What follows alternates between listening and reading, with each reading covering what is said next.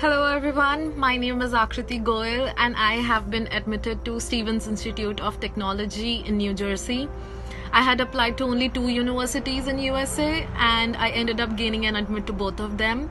Thanks to the foreign admits team for helping me out uh, not only through my whole application process but also standing by me uh, in my visa process. A special shout out to Swapnil and Prince Principal for being available for me all the time and helping me achieve my goals. Thank you, Foreign Admits. I really had a great experience with you guys.